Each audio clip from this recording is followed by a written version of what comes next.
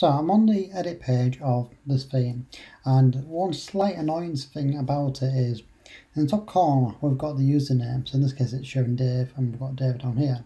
But then if I just change the name down here and then update it, it tells me that it's updated but up there it still shows me the old name and it stays like that until I refresh the page. Once I refresh then we can see it.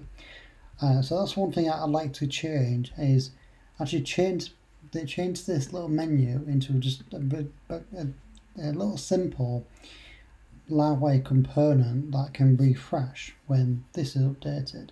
And that way, when you change something here, it, it can refresh up there. Uh, so let's, let's get on with doing that. So now I need to create a Livewire component. So I can say Livewire, actually I think it's make, no it's not, it's Livewire make and I'm just going to create one called user menu.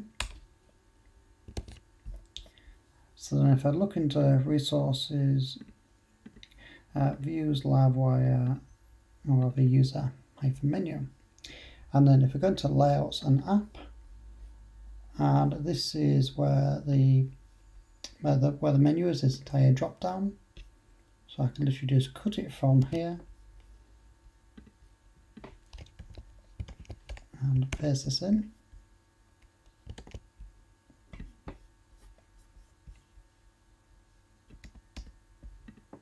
Don't need to change anything here because all I want to do is it to refresh. I can close that down now, and then here I can say Livewire and then say user menu. I want it to, to load up. So now, if I've done everything rightly, we shouldn't notice any difference on the page that it still works even though it's loading from a Livewire component now instead. Okay, brilliant. So next we need to open up the actual Livewire component itself. And what I need to do is to actually put a, a, a listener on on this. So what will happen when there's an event fire is this listener can run for it to refresh itself. So I'll create a protected listener. And then within the listener it just takes two properties so the actual name of the event. So I'm going to call it refresh user menu.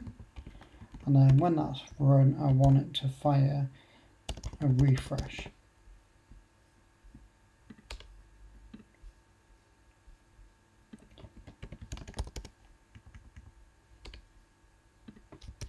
Okay, so that'll fire off the refresh.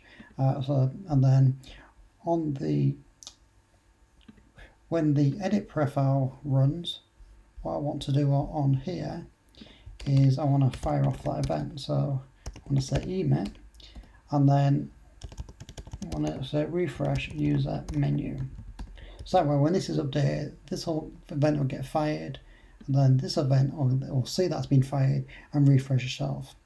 Okay so if I come back refresh the page so now if we change the name, click update, now it updates straight away without us having to refresh the page manually, which is much better.